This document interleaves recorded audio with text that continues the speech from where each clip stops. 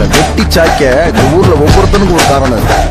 ஆனா என்னை தொட்டு கூட பார்க்க முடியாததுக்கு ஒரே காரணம் கிடாரி.